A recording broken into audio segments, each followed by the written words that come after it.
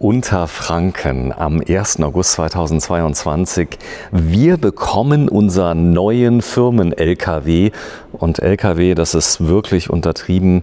Es ist ein Hilux wie hier von Buschcamper aber im Moment noch einer einigermaßen zivilen Version ohne Aufbau. Der Julian, der steht rechts von mir, den werden wir gleich mal sehen, der hat mir dieses Fahrzeug hier gebaut und damit man das ordentlich vergleichen kann, haben wir das Originalfahrzeug vor dem Umbau mal daneben gestellt. Ja, ich grüße dich, Julian. Du bist Meister. Ich bin Meister, Karosserie- und Fahrzeugbaumeister. Unterfranken, wo sind wir? Ähm, Wiesenheit. Als ich reingekommen bin, ich war recht sprachlos, konnte es aber nicht so ganz zeigen, denn so erstaunt war ich noch nie über ein Auto. Wie kann man nur ein solches Auto so unglaublich toll machen. Du hast dir viel Mühe gegeben, die ganze Umbauzeit, circa zwei Wochen hast du investiert und äh, das Ganze hast du sehr schnell gemacht, denn wir wollen ja da hinten drauf eventuell ja noch einen Buschcamper draufbauen, einen Aufbau und äh, er ist schon mal vorbereitet und hier sieht man sehr schön, so sieht das Ding aus, wenn es von Toyota kommt und das Schöne ist natürlich, alles, was drüben verändert wurde, ist selbstverständlich durch den TÜV eingetragen. Und äh, es ist so verbaut, als ob Toyota selber eine Offroad-Version ihres Hilux gebaut hätte. Und äh, ist wirklich toll geworden. Ne? Ich finde ihn klasse. Auch äh, genau äh, gebaut für den Einsatzzweck. Wir waren vorhin schon mal im Gelände. Also das ist alles, was wir bauen, ist nötig. Wir können das ja mal kurz sehen. Da ist eine Stoßstange drauf von ARB. Mach mal gerade einen Gefallen, damit es mal richtig schön aus ist. Mach mal die Zündung an, dass wir das Licht mal sehen. Denn der hat ein tolles Tagfahrlicht von Osram mit eingebaut vorne. Das ist bei der ARB-Stoßstange mit dabei. Ist eine ARB Smartbar, die hier verbaut worden ist. Und das Ganze ist richtig toll. Hier ist ein Schnorchel mit dabei. Wir waren im Gelände, haben ihn ausprobiert und er konnte fast übernatürlich sich bewegen. Rockslider hast du eingebaut. Wir gehen gleich mal Stück für Stück durch. Wenn diese Fahrzeuge hier umgebaut werden, dann führst du ja mit den Kunden Gespräche, was sinnvoll ist und was nicht sinnvoll ist. Und ähm, du hast quasi meinen Wunsch so ein bisschen entsprochen. Ich wollte ein Fahrzeug haben, was unglaublich wie soll ich sagen, mal so ein bisschen sportlicher aussieht. Kann man das sagen? Es soll cool ausschauen. Und das haben wir geschafft. Wir haben ihn einfach ähm, nutzbar für die Straße gemacht und gleichzeitig tauglich fürs Offroad. Das ist so. Die Spur wurde verbreitert? Ja, wir haben Spurverbreiterung drauf gebaut, dann die Stoßstange, wie schon erwähnt, dann sieht man auch schon den Böschungswinkel hier. Was wir auch im Gelände unbedingt brauchen, das beim Original eben fehlt, da ist die Stoßstange zu tief. Haben wir eben probiert. Wir haben auch Fotos dazu mal gemacht. Die Stoßstange hier hätte mit größter Wahrscheinlichkeit schon aufgesetzt. Ja. Äh, es war noch gar nicht so extrem, was wir gemacht haben, aber ähm, trotzdem ist das Fahrzeug im Grunde nachher genauso geländegängig wie das hier. Bloß die Limits wurden erhöht, oder bei dem? Ähm, fahrwerkstechnisch 70 mm vorne, 70 hinten und dementsprechend halt alle Komponenten, was dazu nötig sind, haben wir ausgetauscht. Wenn du mal gerade mit dem Finger 70 cm zeigst, wie viel sind das? Ähm, das Stück. Das Stück. Ja. Das sieht so wenig aus, aber in der Praxis, wenn man es direkt vergleicht, enorm, oder? Wie im Offroad eigentlich. Wenn man einen Berg sieht, schaut es eigentlich überhaupt nicht schwierig aus, aber ist schon meistens ähm, heikle Geschichte. So, wir werden mal eins machen. Starte mal gerade den Motor und ähm, dreh mal bitte das Rad hier mal zu mir.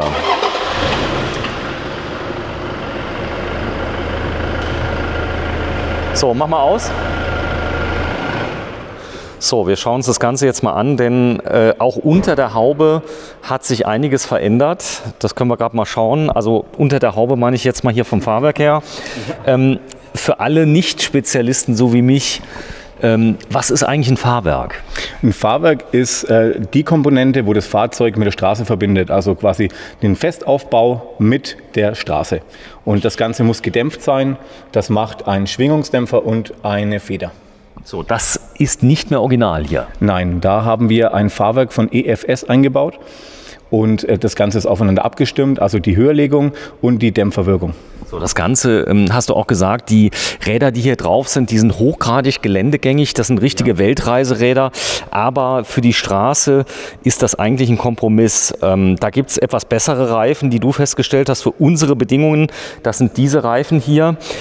Die ähm, haben nämlich einen Vorteil, ähm, dass sie etwas weniger schwingen. Oder wie hast du das beschrieben? Naja, also die sind laufruhiger und ich habe eine bessere Wasserverdrängung.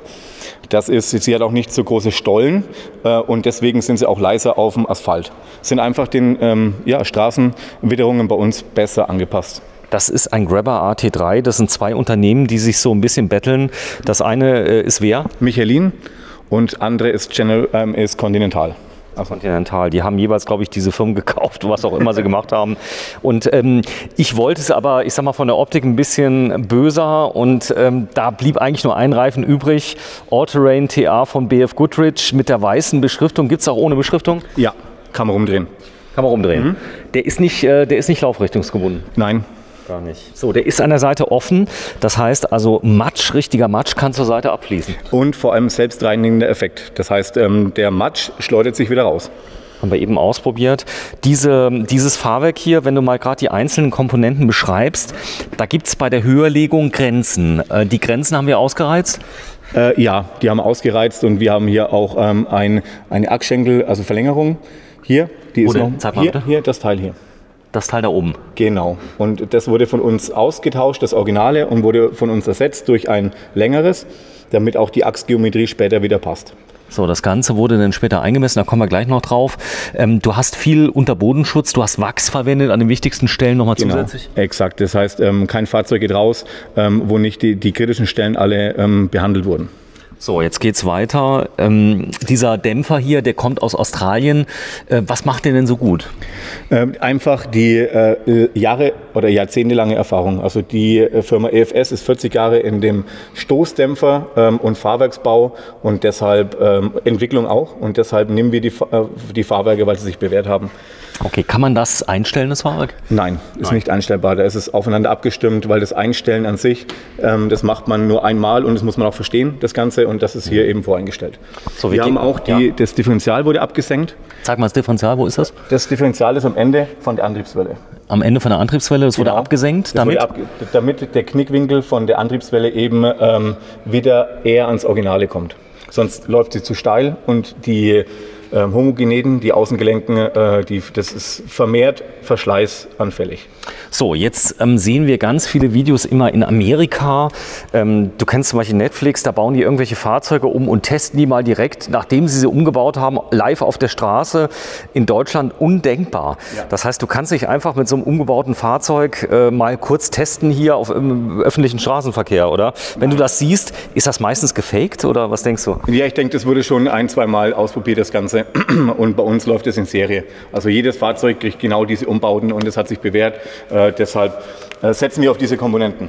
Also alles ist eingetragen. Ja. Das ist dir wichtig. Da sind ganz viele Dinge, die eingetragen werden müssen. Zum Beispiel dieser Rockslider, der hier mit dabei ist. Das ist ein ganz besonderer. Beschreib den mal bitte. Ja, das ist ein ähm, Alu-Rockslider, der ist sehr leicht, äh, wiegt, äh, also beide zusammen wiegen 6,5 Kilo. Ähm, und der, den braucht man einfach, um den Schweller zu schützen. Wir, wenn wir ein Gelände fahren, man hat einen relativ langen Radstand, dann ist natürlich das Erste, was im Gelände aufsitzt, ist der Rockslider, beziehungsweise wenn man nicht hat, der Schweller und man beschädigt sein Fahrzeug. Ich werde das gleich mal einblenden. Wir sind damit mal kurz auf eure neue Baustelle gefahren. Ihr zieht demnächst um. Die Halle ist ja schon groß genug, aber die wird jetzt noch größer. Und direkt beim ersten Mal, es war noch gar nicht so spektakulär, hat er seitlich an beiden Seiten aufgesetzt. Mhm.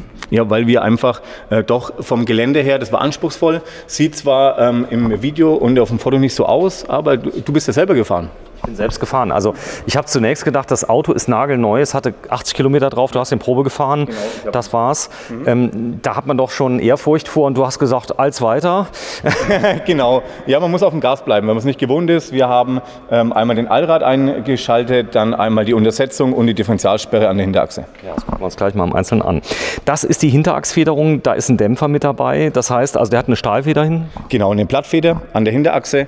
Da haben wir jetzt sieben äh, Federlagen Wagen. Eine haben wir ausgebaut, weil du eben noch äh, einigermaßen komfortabel fahren möchtest, hast du gesagt. Ich habe keine Last im Moment. Das heißt, die Last im Moment, was darf ich draufpacken? Ähm, 1200 Kilo. Rund. 1,2 Tonnen. Ja. So, hier vorne, das ist das Federelement, was du ausgebaut hast. Ja. Zwei Stück. Genau, einmal links, einmal rechts. Und wenn die Last wieder kommt, also wenn wir den Aufbau hinten drauf machen, dann kommen die auch wieder rein. So, für alle Fans des Offroads, hier haben wir eine Anhängerkupplung dran. Das liegt daran, der ist so hoch geworden, dass man mit der Anhängerkupplung, die serienmäßig mit dazu kam, äh, die Winkel nicht mehr einhalten könnte. Das heißt, du hättest keinen normalen Anhänger mehr ziehen können. Deswegen ist die so tief. Die kann man abnehmen. Die kann man abnehmen, genau, fürs Gelände. Ähm, das sind äh, sechs Schrauben und dann ist die weg. So, wir sind eben durchs Gelände gefahren. Was ist eingetaucht? Die Anhängerkupplung. Die Anhängerkupplung. ja. Gut, aber das macht ja nichts, dieser Stahl. Ja, die zieht sich da durch. Das muss sie aushalten. So, von den Kabinen hier hast du wie viel jetzt weggeworfen bis jetzt? Äh, von den äh, Britschen äh, acht Stück. Acht Stück. Leider. Die brauchst du später nicht mehr. Nein.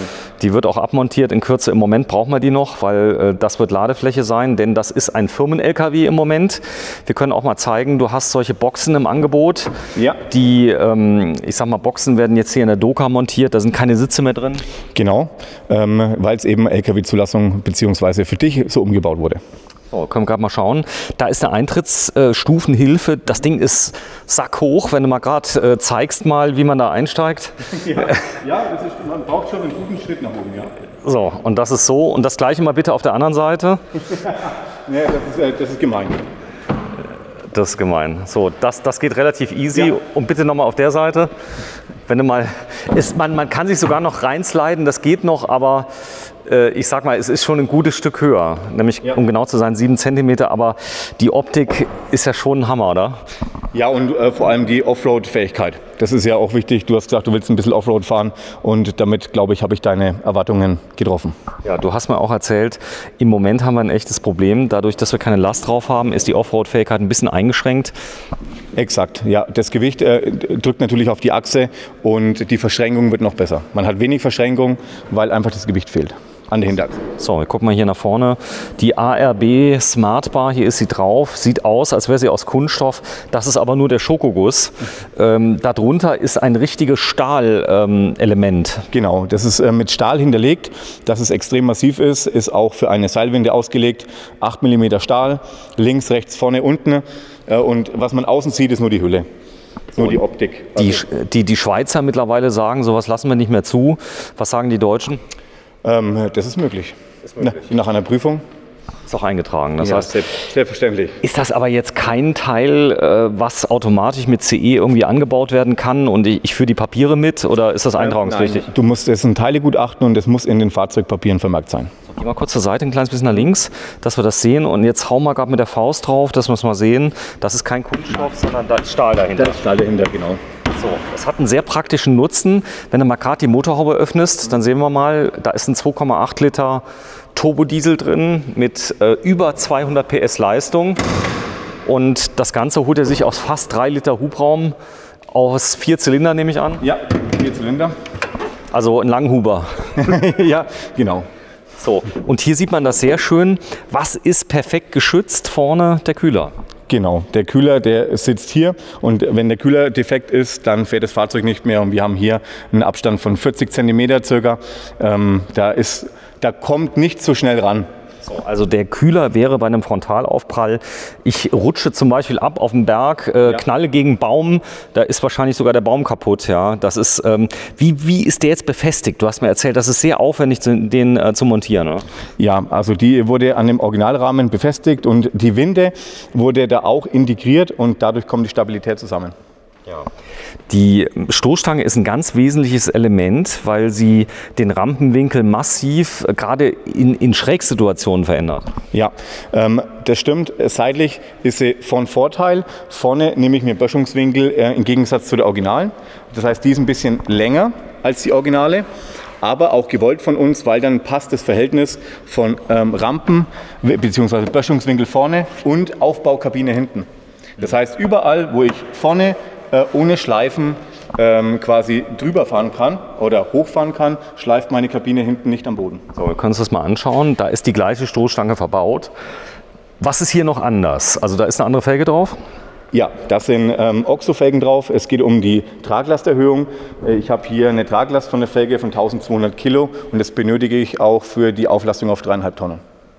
Hier sind noch ein paar Sachen anders. Hier ist ein ganz anderer Rockslider drauf. Ähm, Du hast aber schon gesagt, äh, der neue, den du bei mir verbaut hast, ist gar nicht so schlecht. Der ist ein, Ja, bisschen, der- der, der ist ein bisschen anders montiert. Genau, der ist an der Karosserie montiert und unsere Rockslider sind am Rahmen montiert. Das ist äh, aus Stabilitätsgründen habe ich das eben so umgesetzt, ähm, ist so üblich und äh, man kann schadet der Karosserie überhaupt nicht, weil man eben am Rahmen befestigt ist. So, warum habe ich hier vorne nicht so ein Gummiding dran, was hier an so einem Seil äh, gehalten wird? Ähm, weil du die originalen Räder drauf hast. Das heißt, äh, da ist es, ich sag mal, äh, bedingt nutzbar. Vor allem, du hast die Kotflügelverbreiterung. So, und die, die nimmt ja das Ganze weg. Also die nimmt das Spritzbild im Gelände oder vom Dreck, Matsch, Sand, nimm die weg. So, was ich auch nicht haben wollte, warum auch immer, weiß ich noch nicht. Hier ist jetzt so ein, äh, ich sag mal, ein Lüfter drauf oder so ein Schnorchel aus einer anderen Firma, aus einer anderen Manufaktur. Warum der jetzt Bravo hier drauf? Weil das lieferbar war. Also man muss wirklich sagen, äh, die Lieferketten momentan sind schwierig und wir verwenden das, wo lieferbar ist. Sehr schön. Den Spiegel habe ich abgelehnt. Warum nur, weiß ich immer noch nicht. Aber das ist ein richtig genialer Spiegel. Zeig mal, was der kann. Ja, vor allem du kannst ihn ausziehen. Also wenn du wirklich ein Hindernis seitlich hast oder einen Anhängerbetrieb, dann kannst du ihn ausziehen und der ist halt nach wie vor stabil. Das ist massiv gebaut. Und das Beste ist, innen hast, hat man Doppelspiegel. Und man kann mit dem unteren Spiegeleinheit kann man quasi seinen Fahrbahnrand ähm, besser im Blick behalten. Das heißt, du weißt immer, wo dein ähm, Hinterrad sich befindet, Aber ich, ohne aus dem Fenster zu schauen. aber ich bin ja nicht weg. Das ist ja der Vorteil. Das heißt, Ja. ich komme ja nochmal wieder.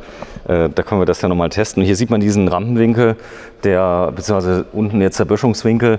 Das ist ja blöd. Da hinten ist so ein Rohr drin. Das kann man einklappen. Kannst du einklappen. Genau, das ist hier einfach für, ähm, für die europäischen ähm, Straßenverhältnisse braucht man den. Man braucht die Bodenfreiheit von 55 cm und die wird man ohne eben nicht einhalten. Das, äh, den kann man nach oben klappen und nach vorne schieben das Ganze. Da hat man quasi sein Kabinenheck noch geschützt, ähm, wenn es äh, zu einer Kollision kommen sollte. Ja, witzigerweise, da ist auch ein Tank mit drin. Ja. Abwassertank, glaube ich. Ähm, Abwassertank und Einstiegshilfe. So, das ist mit dabei. Ähm, so, du hast gesagt, wenn ich vorne hinkomme und es schleift nichts, dann komme ich hinten auch hin. Genau, ja, weil meistens ist ja so, äh, ich habe Schwung und fahre mit Schwung den Berg hoch und wenn ich jetzt zum Beispiel die Originalstoßstange dran habe, dann ist der, ähm, der Rampenwinkel um einiges, äh, das sind 5 Grad, ähm, verbessert und dann kann es passieren, dass ich eben mit dem Heckbereich äh, dann den Boden streife und das wäre natürlich unvorteilhaft. So, das Basisfahrzeug hier, das ist ja jetzt der komplette Camper, Bauzeit, ich glaube vier Monate von dem, kommt das hin? Ja, vier bis fünf Monate. Vier bis fünf Monate von dem, da ist die Fahrzeug, äh, der Fahrzeugumbau mit drin. Jetzt ist es so, ihr baut nicht immer direkt das Fahrzeug zuerst um, sondern wie läuft's? Also wir bauen erst die Kabinen auf und äh, dann natürlich, weil es einfachkeitshalber, wenn das Fahrwerk verbaut ist, ist das, Fahrwerk, äh, ist das Fahrzeug 70 mm höher und man steigt halt einfach unbequemer ein und aus. So, das werden wir gleich mal in einem extra Video zeigen, wie wird sowas gebaut. Ja, wenn man sich das Fahrzeug jetzt mal anschaut, da sind noch einige Änderungen durchgezogen. Du hast zu mir gesagt, mach doch alle Chromteile schwarz. Was habe ich gesagt? Ähm, nein, ich foliere das Ganze. Das Ganze. Ähm, wir werden sehen, ich komme ja vielleicht nochmal wieder, aber äh, du könntest alles das, was hier Chrom ist, wir haben ja das Chrompaket bestellt, ähm, auch schwarz machen wiederum. Ja, natürlich. Gerne. Ist das ein Vorteil? Ähm, Optik einfach. Optik. Ja, das muss einem gefallen.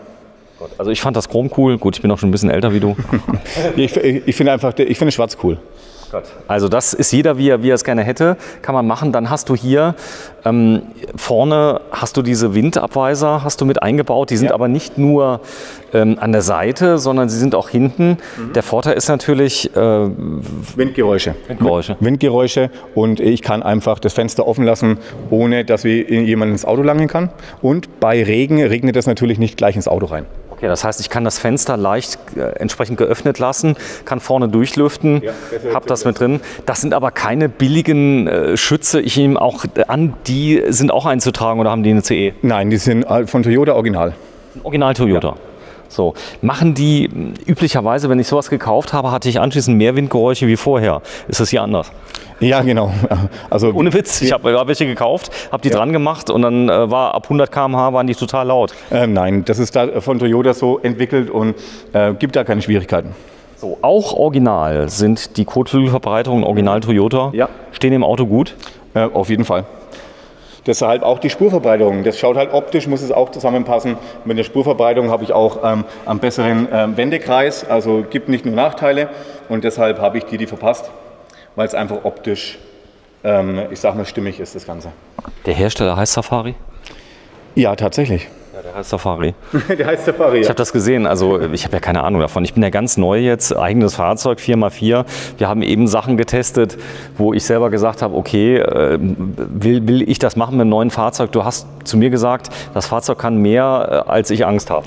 Ja, genau. Also ich sage mal, bevor das Popometer, sage ich immer, ähm, das ähm, äh, hat von, der eigenen, vom eigenen Gefühl ist es immer anders wie in der Wirklichkeit. Und das Fahrzeug, bevor das kippt, da hast du viel mehr Angst und ähm, viel mehr Schweiß auf der Stirn, bevor das passiert. So, jetzt ist hier hinten ja ähm, die Kabine. Das bedeutet, hier kann ich äh, Lasten zum Beispiel transportieren.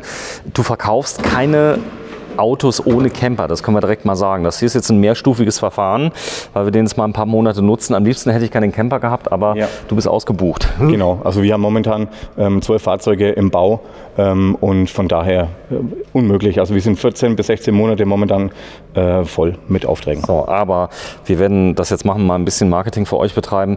Ja, wir sind in Unterfranken, das Ganze ist in Bayern und ähm, in Franken, also ein Teil von Bayern, so muss man es ja sagen. Aber äh, das Ganze lässt sich das bewerkstelligen. Äh, ich sag mal, in Deutschland den Umbau kann man das bezahlen, äh, weil das ist ja, ist ja, ist ja doch so eine Sache. Man könnte ja auch ins Ausland gehen, aber die Qualitätssicherung war dir wichtig, oder? Ja, das ist das A und O. Also bei mir, ich ähm, verkaufe deswegen auch nur namenhafte Produkte. Bei mir wird das im Haus hergestellt, auch die Lackierung, äh, da legen wir Wert drauf. Und äh, klar kostet das Geld, aber dafür hat man es gut investiert ähm, und man hat 20 Jahre Spaß. So, das hier ist jetzt die Interimshalle, so muss man sagen. Hier habt ihr jetzt wie lange gebaut oder werdet ihr noch bauen? Ähm, circa sechs Monate werden wir noch bauen hier. So, und dann geht es in neue Räumlichkeiten, die werden extra für euch angefertigt, neu gebaut. Genau, 3000 Quadratmeter. Auf Wie viel? 3000 Quadratmeter. Also wir haben eine Halle, die ist dann viermal so groß wie die mit ähm, Lackiererei. Also wir haben eine eigene, Eigene Lackierei. ja, eine eigene Lackierkabine, ähm, Möbelbau, Sandwichbau, Kabinenbau, Service, Technik, ähm, alles im Haus. So, kommen wir mal auf das Basismodell. Der Toyota Hilux, den gibt es mittlerweile weltweit. Äh, Die UN fährt dieses Fahrzeug, hast du mir erzählt. Und äh, da wurden spezielle Anforderungen an Toyota gestellt. Der Service musste quasi fast weltweit sein. Oder? Genau, also äh, man braucht einfach ein gewisses Netzwerk an Werkstattabdeckung und das ist einzig, einzigartig bei Toyota. Und das ist auch gelungen. Ja, Kleinigkeiten, zum Beispiel das Reinschrauben einer äh, entsprechenden Airline-Schiene, die drin ist. Da gibt es einiges zu beachten. Was hast du hier gemacht? Äh, Ich habe die Löcher versiegelt, gegen Korrosion geschützt.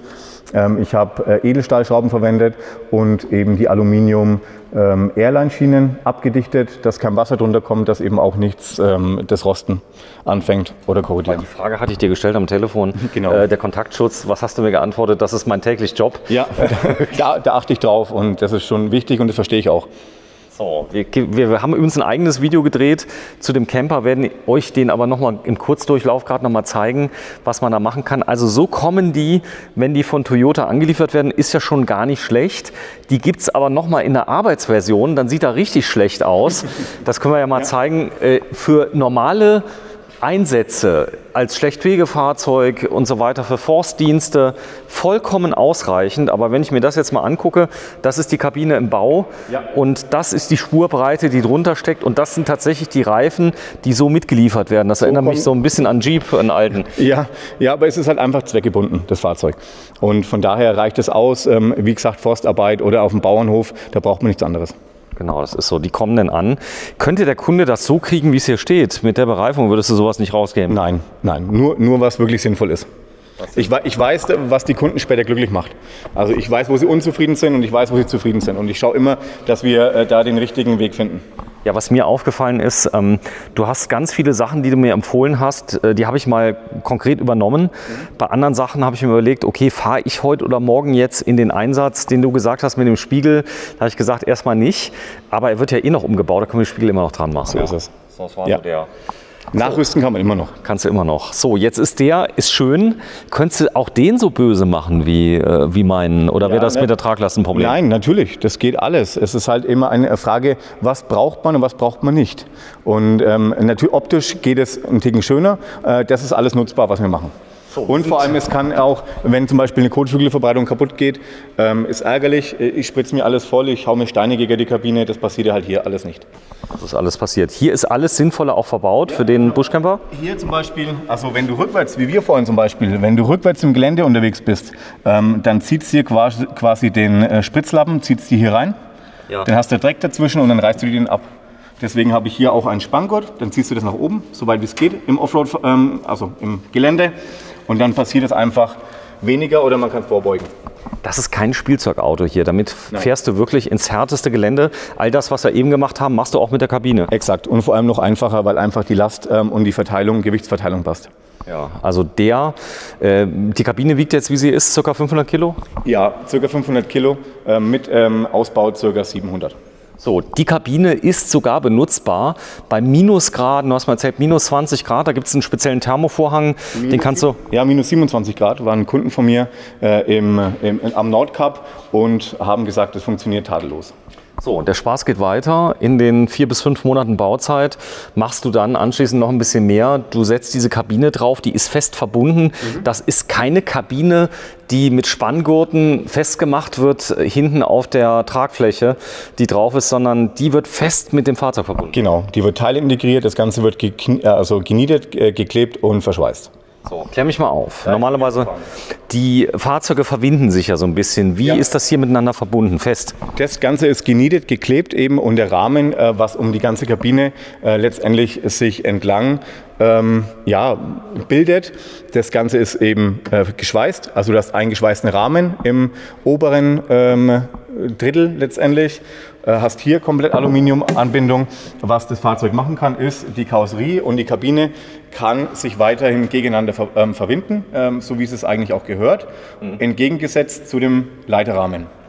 Wie beim Stationbecken. Also ich habe ja auch, es gibt zum Beispiel den ähm, 79er oder bei dem Modell ist es ja auch so, ich habe einen Hilux Single Cap, Extra Cap, Double Cap. Das Ganze wird nur länger äh, und das macht den Rahmen im Prinzip nichts aus. So, deswegen habe ich das Ganze fest verbunden. Das ist eine, oben eine starre Einheit und hält auch ein Autoleben lang. Gut, das ist wichtig. Ja. Mhm. Äh, vielleicht kurzer Blick mal rein. Hier ist eine Besonderheit, dass du ähm, hier eine Tür hast, die nach oben öffnet, ja. die wasserdicht ist. Genau. Das heißt, du kannst Staub und wasserdicht. Staub und wasserdicht. Ja. Ich habe hier eine äh, Gummidichtung, eine Hohlkammerdichtung und außen eine Flächendichtung. Gut, also eine Hohlkammerdichtung, wie man sie kennt aus dem professionellen Fahrzeugbau. Exakt. Die muss ein bisschen mehr können, glaube ich, fast noch, oder? Ja, äh, auf jeden Fall. Du hast ja da hinten extreme, ähm, ja, einfach Witterungsverhältnisse, viel Staub und da muss es geschützt sein. So, das ist ein Weltreisemobil, das hat mit normalem Camping eigentlich nur noch damit was zu tun, dass man hier drin auch schlafen kann. Ja. Ansonsten ist dieses Fahrzeug hier, ähm, ich kann damit Berge hochfahren, ich kann damit durch Flüsse durchfahren, ich kann nach Island fahren damit, ja. äh, du kannst alles machen damit. Ähm, das ist jetzt, ich sag mal, wenn Leute kommen und sagen und sehen hier, okay, Fahrzeug kostet wie viel? Was kostet sowas? 150.000. 150.000 Euro, die dann sagen, naja, da kriege ich ja auch einen Pössl für, ähm, mit allen drum und dran, da kaufe ich mir den noch, da mache ich auch Camping, äh, da komme ich aber nicht an die Orte, oder? Genau so ist es. Und vor allem keine 20 Jahre ähm, durch wirklich ähm, schlechte Teile der Welt. Das ist so. Wir sind eben mal durch, ähm, einfach mal durch die Baustelle bei euch gefahren. Die Videos, äh, die Bilder werde ich jetzt noch mal kurz einblenden. Ähm, da habe ich dich gefragt, geht das hier nur mit Vierrad? Äh, da hast du gelacht, hast gesagt, hier kommst du nur mit Vierrad hoch. So ist es, ja. ja. Sperren, der hat nur eine Hinterradsperre. Das ja. langt, oder? Ja, das langt. Also du hast ja auch gemerkt, ähm, es ist so, dass einfach die Vorderachse ähm, sehr anfällig ist für Laien oder für Unwissende. Und wenn man nicht weiß, was man, äh, was man tut oder wann man es tun soll, dann äh, am besten nur eine Hinterachssperre, die ist der dankbare. Kommen wir mal auf das Thema. Also das ist der Wohnbereich. Schaut euch bitte das Video an. Wir haben ein eigenes Video gedreht von dem Fahrzeug. Ähm, du warst ziemlich aufgeregt. Die Präsentation, du hast es ja vielen, äh, ich sag mal, auch Redakteuren gezeigt. Wie war die, Re äh, die, die Reaktion? Fach, Fachmagazin und Co.? Ja, natürlich. Das, ähm, es gibt immer Pro und Contra. Aber ähm, wenn man sich das Fahrzeug besichtigt und sich die Intentionen mal genau vor Augen hält, ähm, äh, kommt man immer wieder auf, ich sag mal, diese Bauweise und diese Art von Reisen. 3,5 Tonnen hast du eingehalten? Auf jeden Fall. Also auf jeden Fall. Auf jeden Fall. Ich bin Leergewicht, habe ich 2870 Kilo ähm, mit halbem Kraftstofftank.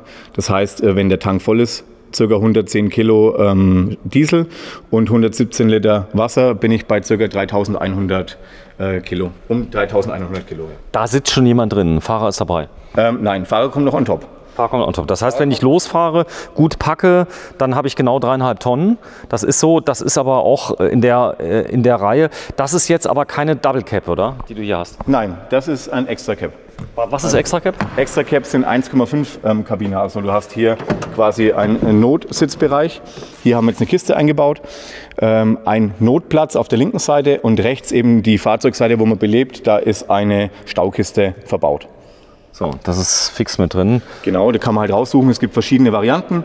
Und ich habe jetzt hier zum Beispiel eine noch, das sind Schubläden. Das ist schon sehr cool, weil alles, was du zum Außenleben brauchst, ähm, kannst du hier einräumen. Ähm, Essig, Öl, alles, was dreckig ist, was auslaufen kann ähm, und im Ausbau nichts verloren hat, das kommt da rein. Okay, die ist auch dicht nach unten? Die ist dicht, ja. Okay, hier vorne, was ist das für ein Element, was da drin ist? Strom? Ja, das ist unser äh, Leab LPS Stromsystem mit 160 Ampere Lithium-Ionen ähm, Batterie. Da ist alles integriert, was ja. es gibt. Also da ich nehme an, der Solarregler auch? Genau, Solarregler, Ladebooster, Ladegerät, also Landstrom. Ähm, Solarregler haben wir schon gehabt. Mhm. Und Überspannung, Unterspannung, Notstartfunktion ist alles vorhanden. Alles vorhanden. Das ist aber nicht vergleichbar mit so einer Powerbox, die man äh, überall findet, sondern die wird ja durchgerüttelt, oder? Genau. Ja, das ist ähm, Pisten- und Rüttelfest. Das habe ich auch äh, dementsprechend in dem Aufbau und in der Befestigung mit integriert und daran gedacht, das Ganze hält 10 bis 12 Jahre, da braucht man sich keine Gedanken machen. Und wenn, kann ich das Ganze noch redundant bauen. Also ich baue einfach dieses System nochmal nebendran. Mhm. Dann haben wir ähm, zwei Andersen-Stecker, vier Kabel, wo man umklemmen muss und dann habe ich quasi dasselbe System nochmal zur Verfügung. Und dient, son und dient, sonst als ähm, Kapazitätserweiterung. So, jetzt hast du ja Leute, die fahren damit ähm, auf Weltreise. Welche Anwendung könnte man denn noch denken, außer Weltreisen? Gibt es hier zum Beispiel Leute, die im Wald arbeiten müssen, oder da übernachten müssen? Gibt es sowas auch? Ja, natürlich. Ähm, also gewerblicher Bereich? Anfragen. Also wir haben auch schon leere Kabinen gebaut, zumindest halt so, äh, dass man sie einfach anderweitig nutzen kann. Mhm. Notarzt zum Beispiel, der irgendwo ja, hinkommen muss. Genau, da haben, wir, ja. ja. da haben wir jetzt eine Anfrage ähm, und ein Angebot geschrieben. Einmal so das Medical System Package ja, mit äh, Blaulichtern und ähm, Notfalllichter außenrum. Da werden wir auch in der Art was bauen, ja. So ist das. Kann ich jetzt aus dem, den du mir gebaut hast, kann ich jetzt später auch einen Buschcamper natürlich bauen? Ja. Das heißt, die Reihenfolge ist egal, wie rum. Äh, prinzipiell ja. Die Höhe ist halt immer das Problem, weil ich muss ungefähr ähm, 3178 Mal ins Auto ein- und aussteigen, äh, um das Fahrzeug fertig zu bauen. Und da ist es halt einfach komfortabler, wenn es ein bisschen niedriger ist. Wieso, wieso schaust du mich jetzt gerade dabei an? Weil ich bin ja nicht mehr der Jüngste. Ja, der Nein, aber äh, das ist halt, wir haben unsere Reihenfolgen, aber selbstverständlich können wir dieses Fahrzeug später umbauen. Ja, ich bin eben zur Tanke. Das ist schon Blickfang. Ja, wenn du tankst mit allen drum und dran. Ähm, ist das so ein bisschen, ich meine, vom Preis-Leistungs-Verhältnis her mit Umbau, wo, wo, liegen wir hier ungefähr bei 90? Ähm, Basis? Ja, Basisfahrzeug äh, ungefähr 85, 90 und dann eben noch die Kabine on top nach Ausstattung, dann landen wir bei den 150.000, ja. Ist das brutto irgendwie so teuer? Ähm, brutto, ja. So. Ja, ich mache jetzt mal was anderes. Du kommst mal bitte auf die Beifahrerseite. Ich gehe jetzt mal auf die Fahrerseite. Normalerweise machen wir es immer umgekehrt, aber ich bin ja eben schon ein bisschen Probe gefahren. Da kann ich es nämlich ein bisschen besser filmen, denn dieses Fahrzeug hier ist quasi im Vergleich zu einem Landcruiser ein richtiges Luxusfahrzeug. Du hast elektrische Fensterheber. Das gibt es auch beim Land Cruiser? Ja, bei den neuen Benziner, äh, Benziner gibt es das. Beim neuen Benziner. Ja. Dieser Motor hier, da hast du zu mir gesagt, das ist ein Motor, der ist wirklich so kraftvoll, dass man ihn fast. Äh, was ist passiert? Julian? Du musst das Licht ausmachen. Das Licht ausmachen. Ja, dass, so. dass die Batterie nicht leer geht. Jetzt haben wir es aus. Ja. So, steig mal ein. Ja. Ich zeige erstmal die Sitze. Die Sitze sind richtig schön fest. Die sind gedacht, um ein Leben lang zu halten. Man kennt ja Toyota-Sitze aus äh, den Autos, die teilweise 20 äh, Jahre alt sind, mhm. wo täglich 30 Mal ausgestiegen wird. Irgendwann sind auch die mal kaputt, aber ja. die halten lang. Ja, die halten lang. Und wenn nicht, ähm, beziehungsweise wenn man einfach Reisesitze haben möchte, die haben wir auch im Angebot. Äh, wahlweise kann man machen, wie man möchte. Kann man auch noch nachrüsten. Hat das Fahrzeug AdBlue hier? Ja, hat okay. AdBlue. Äh, Tank-Einfüllstutzen ist daneben? Äh, ist, nee. Ist oben im Motorraum, also mhm. quasi an der Stirnwand hinten und äh, fährt in Europa ganz normal mit AdBlue. Gibt es keine Probleme. Kann man den umrüsten lassen im Ausland? Ja, kann man umrüsten lassen. Wir haben ein Set zum Umbauen. Ähm, dann ist das System, läuft dann wie ein Fahrzeug ohne Euro 6. Wie ohne Euro 6. Das genau. ist dann in Ländern erlaubt, wo es erlaubt ist. Ja, wo es halt keine Abgasnormvorschriften gibt. Okay, das ist in fast allen Ländern so. Also wenn man mal sieht, man hat irgendwie ein paar hundert Länder. Ähm, das ist aber schon sinnvoll, dass es AdBlue gibt. Wie ist denn die Reichweite mit so einem AdBlue? Oder kann ich da was mitnehmen, wenn ich in ja, voll mache? Natürlich. Also ich kann hier 20, ähm, 10 Liter Kanister bekommen auf jeden Fall unter. Ich habe hier 18 Liter Füllvermögen. Damit komme ich ca. 8000 Kilometer. Mhm. Das heißt, ähm, ich fülle das Ganze auf oder fülle nach und immer, wo ich AdBlue bekomme, ähm, kaufe ich einfach wieder einen 10 Liter Kanister. Okay. Mache das Ganze immer relativ voll. Der Motor ist relativ einfach, aber das stimmt so nicht. Der hat schon richtig Power, 2,8 Liter. Merkst du diesen Hubraum? Weil, weil viele träumen ja davon, die träumen immer, was ich egal höre, der äh, 3 Liter äh, Amarok. Ja. Wenn es den noch gäbe, ja. ja. Das stimmt. Es ist halt einfach, ähm, Hubraum ist durch nichts zu ersetzen. Also es ist äh, der, die Verbrennung findet ganz anders statt und man hat einfach mehr Drehmoment. Mhm. Serienmäßig, ohne Turbolader. Das ist so. Das Drehmoment kannst du hier ganz leicht erhöhen. Es gibt einen Kriechgang. Ja, Wir können ja mal drauf eingehen. Ähm, das Fahrzeug, guck mal, hier vorne steht eine Coke Zero. Wenn du die mal gerade wegnimmst, bitte. Ja. Mhm. Hast du mir eben geschenkt an der Tanke. Danke dafür nochmal. Ähm, das ist ein ganz wichtiger ähm, Schalter. Ich drehe mal gerade das Licht ein bisschen runter. Kann man euch das ein bisschen besser zeigen dass wir das mal sehen. Das ist ein Schalter, mit dem kann ich ähm, die Verbindung von den Vorder- und Hinterrädern einstellen. Genau, das Fahrzeug ist prinzipiell heckbetrieben, das heißt ein Heckantrieb. Und wenn ich den Schalter umlege auf H4, dann äh, sperrt die Mitteldifferential und ich habe einmal 50% hinten Antrieb und 50% vorne. So, und dann geht's noch, geht noch weiter, L4. Genau, die Untersetzung. Dann drehe ich einmal weiter dann wird das Ganze noch untersetzt und ich habe noch mal mehr Drehmoment zur Verfügung.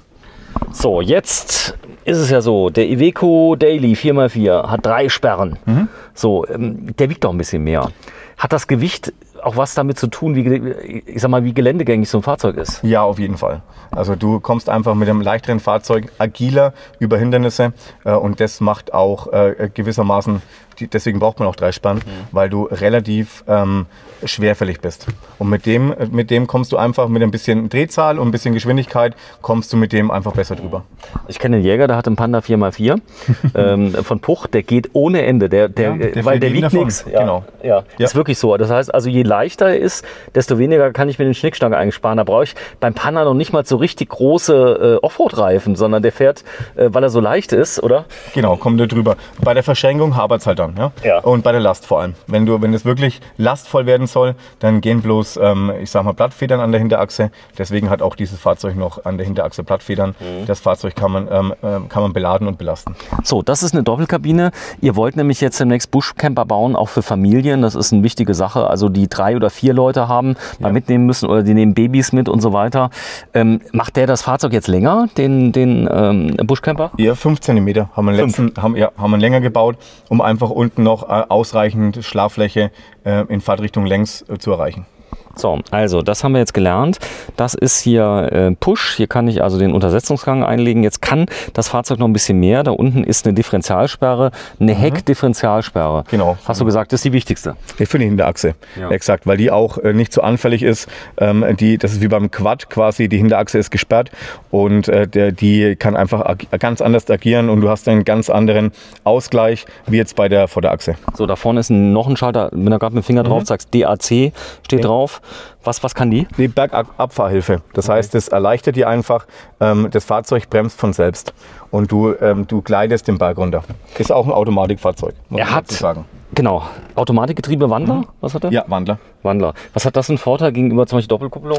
Ähm, ja, gut, das ist nicht zu vergleichen. Andere Technik, altbewährt. Also Wandlergetriebe wird, glaube ich, seit den, ähm, äh, seit den 40er, 45er Jahren verbaut und das ist haltbare Technik. Ist verschleißfrei? Ähm, annähernd verschleißfrei, äh, braucht keine Kupplung wechseln, wie jetzt zum Beispiel beim DSG. Mhm. Hat ja nach wie vor eine Kupplung. Ähm, und das ist schon haltbar gebaut. Und man, man hat einfach äh, eine, eine, ganz andere Fahrdynamik. Natürlich ist es nicht so äh, angenehm vom Schaltverhalten her, aber dafür ist es robust. Der Vorteil ist, glaube ich mal, ich habe mal einen Wohnanhänger, habe ich mal rückwärts hochdrücken müssen in Kroatien. Ähm, bis zum Anschlag des Drehmoments. Ja. Das kann der Wandler, ohne dass eine Kupplung verbrennt, oder? Ja, auf, genau das ist ja der Vorteil, auch im Gelände. Du hast nicht das ständige Schalten, ähm, du hast nicht das Aufpassen, wirklich das Auto jetzt ab in irgendeiner Wasserdurchfahrt, sondern ich fahre einfach durch und. Kraftschluss dann ist immer da. Mhm. Hier vorne hast du Eco und Power. Was, was kann das? Ja, ich kann hier quasi ähm, das Drehmoment verändern und auch äh, die das ist der sogenannte Ladedruck. Ja, der wird ein bisschen herabgenommen. Es wird einfach ähm, später gezündet und dadurch ist das Fahrzeug braucht weniger Kraftstoff, hat weniger Leistung, aber dafür fahre ich einfach kraftstoffsparender auf So. Eco und auf Power genau rumgedreht. Da ist ein Schnorchel übrigens dran. Ähm, wir haben uns eben noch über die Watttiefe unterhalten. Viele Autos sind ja so Spielzeug-Wasserdurchfahrautos, weil die Elektronik ein, ein Problem ist. Wie ist denn das mit der Lüftung hier äh, von der Sperre hinten? Ähm, Das muss nach, die Achsentlüftungen, Getriebeentlüftungen müssen nach oben gelegen werden. hast du das hier schon gemacht? Nein, noch nicht. Noch nicht gemacht? Nein, So. das muss erst beim Zuge des Aufbaus ähm, wird das Ganze umgesetzt. Das macht ihr dann? Ja, da kommt man auch viel einfacher hin. Du hast ja, äh, wenn die Britsche runter ist, dann kommt man relativ gut hin und hat leichtes Spiel. So ist das. So, das war die Frage. Hat der Land Cruiser, du hast, ich habe gesehen, du hast ein paar Land Cruiser noch im Mhm. Hochstehen, hast ein paar noch bekommen, oder? Ja, doch, ich habe die gleich mal gekauft, weil äh, Land Cruiser sind nach wie vor gefragt. Äh, Gibt es halt nur noch neu als Benzinversion und deshalb, Der, der säuft? ja, natürlich, der braucht gut Kraftstoff. Was, was ungefähr? Ähm, 15? 18 bis 20 Liter. Auf 50, oder? Nein, auf 100, 100. Kilometer, ja. 18 bis 20 Liter. Ja.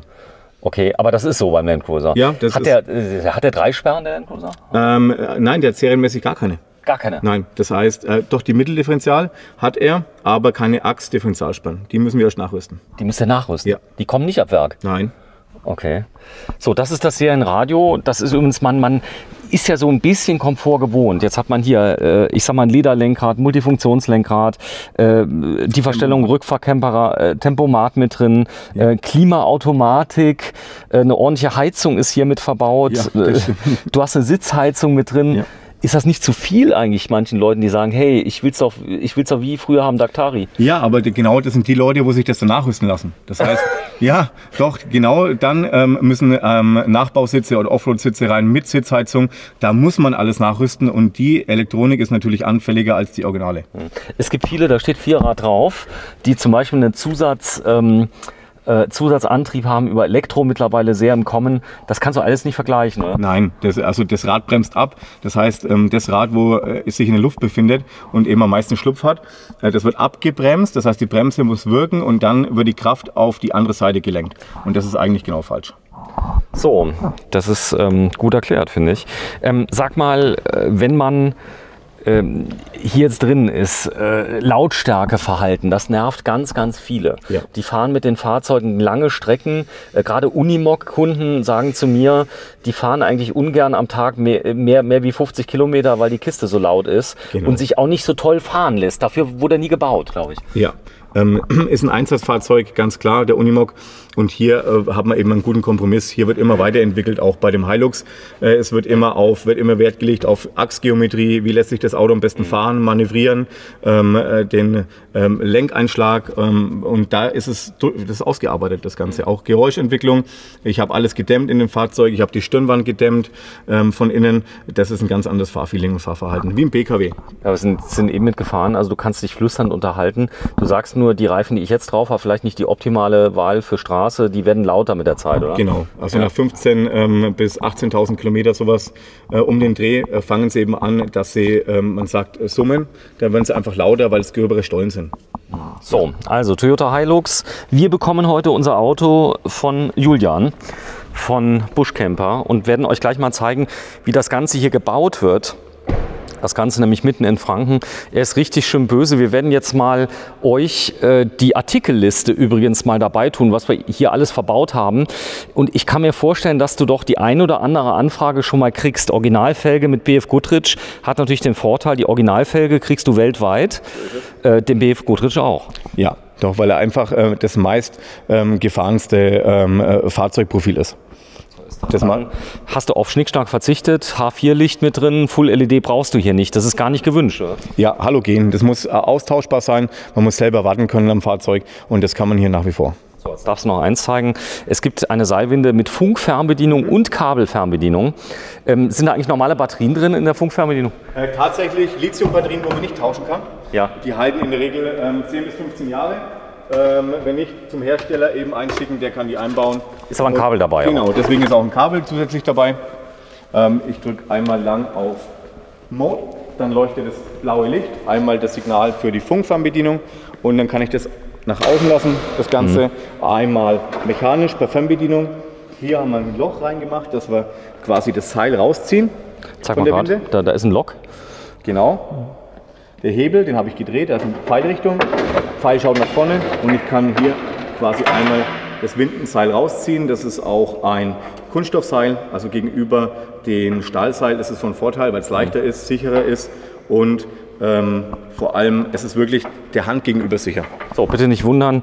Du hast den, ähm, war zwar nagelneu, auf dich erstmal zugelassen, damit du die ganzen Eintragungen machen konntest. Ja, das geht auch woanders. Also man könnte das quasi direkt an der, ähm, an der Kfz-Zulassungsstelle äh, tätigen. Nur es stellen sich manche quer, weil es einfach zu viel und ähm, keine normalen Eintragungen Die, sind. die Leute, ihr äh, kennt die Leute nicht, dass er denen jetzt einen Gutschein gibt äh, für den nächsten Urlaub oder so, sondern das ist halt viel einfacher, wenn das einer mit euch schon 50 Mal gemacht hat, Genau. den brauchst du nicht alles neu erklären. Exakt, so ist es. Richtig. Bitte, mach mal.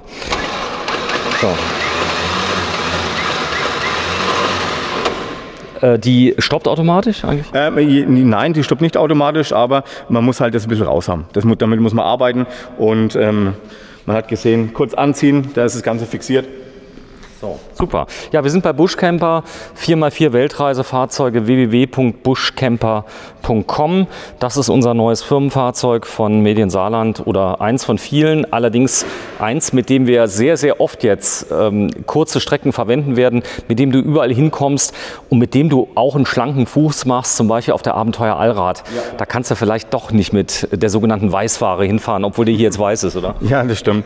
Naja, das ist halt einfach, ähm, das Fahrzeug ist äh, zweckgebunden umgesetzt. Ja, ich habe hier einen Kraftstofffilter, der ist original. Bei unserem Buschcamper-Umbau gibt es ähm, noch einen zweiten mit Wasserabscheider dazu. Der sitzt quasi gleich vor dem ähm, Tank, vor dem Haupttank. Und das ist halt Toyota-like. Hier habe ich äh, ähm, einfach ein ähm, Drahtseil, das wohl den Filter hält. Das kann ich nach außen machen und den kann ich nach oben wegziehen, quasi, den Kraftstofffilter. Und dann kann ich den tauschen. Das ist halt ähm, nach wie vor so gebaut, dass man das Ganze auch selbst tauschen kann. Okay, das ist kein Streichel 4x4 hier, oder? Genau, das ist, Das ist ein professionelles äh, Offroad-Gerät, mit dem die UNO fährt, mit dem äh, Förster, Landwirte, also äh, kein, äh, wie heißt der Kleine eigentlich, ohne da jetzt jemand beleidigen zu wollen? Der, der RAV4? nee, bitte Ja. nicht so lachen, Ja, es gibt genau. viele RAV4-Fans. Ja. Genau, nein, überhaupt nicht. Aber es ist halt einfach, jeder hat äh, seine Daseinsberechtigung. Und dieses Fahrzeug ist einfach für Wüstenregionen gebaut, es ist für Höhen gebaut, es wird in Südamerika bewegt, es wird in Afrika bewegt, in Australien, überall. Und in Australien übrigens auch mit Euro 6. Und ähm, die kommen auch durch. So, Julian. Funktioniert. Ja, du bist hier der Geschäftsführer, du bist noch recht Ja. jung. Ähm, dein Werdegang, was hast du alles gelernt? Ähm, Also ich bin äh, Kfz-Mechatroniker, äh, bin einmal Karosserie- und Fahrzeugbaumeister und Technikermeister. Und Technikermeister. Ja. Super. Vielen Dank fürs Einschalten. Heute 1. August 2022. Da ist er jetzt. Den werden wir heute mitnehmen und der wird die Woche noch umgemeldet. Danke fürs Einschalten. Tschüss, Julian. Ciao. Ciao.